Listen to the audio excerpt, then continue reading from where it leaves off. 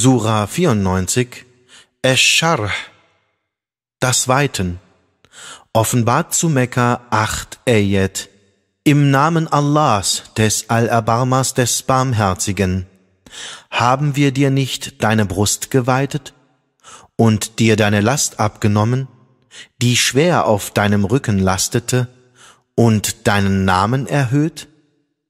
Und wahrlich mit der Drangsal geht Erleichterung einher. Wahrlich mit der Drangsal geht Erleichterung einher. Und wenn du mit etwas fertig bist, dann bemühe dich auch weiterhin und begehre die Nähe deines Herrn